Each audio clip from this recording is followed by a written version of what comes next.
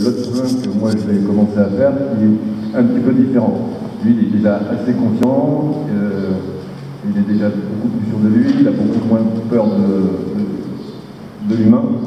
Donc, euh, ça va permettre de, pouvoir faire un petit Moi, je vais y aller un peu plus franchement, avec le toucher de ma main, euh, mais sur des chevaux comme ça, il faut uniquement mettre quelque chose ainsi pour venir aller toucher les zones un petit peu plus sensibles. C'est normal, hein, elle cherche à fuir. Je pense que c'est la bonne solution. Si moi j'arrête d'utiliser ça pendant qu'elle fuit, je lui apprends à fuir.